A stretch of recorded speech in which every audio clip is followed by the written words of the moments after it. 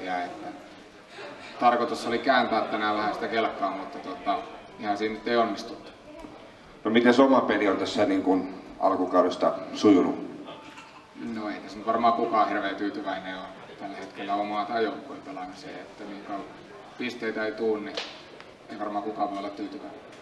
Sä oot myös kokenut kiekkomies, niin tota, millä tavalla nämä vaikeudet niin käännetään sitten voitoksi vielä?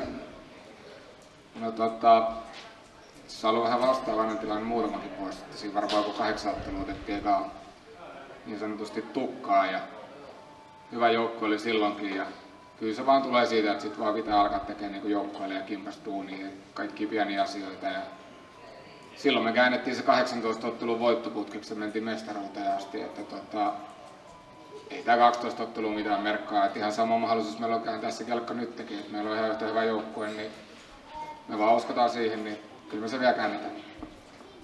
Erittäin hyvin vastattu ja sulla on paljon niin liikakokemusta myöskin, niin tota, nyt takaisin niin mestistasolla, niin millä tavalla sä näet tämän liikan ja mestiksen eron niin maalivahdin silmin?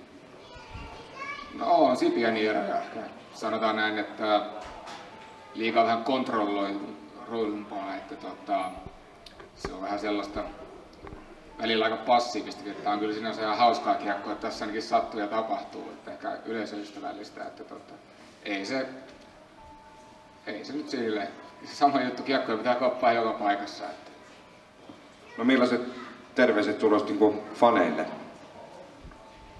No, toivottavasti jaksaa käydä matseissa ja me kyllä käännetään tää kelkka vielä, että tota, saa, fanitkin pääsee voiton makuun kiinni. Kiitos Mika haastattelusta ja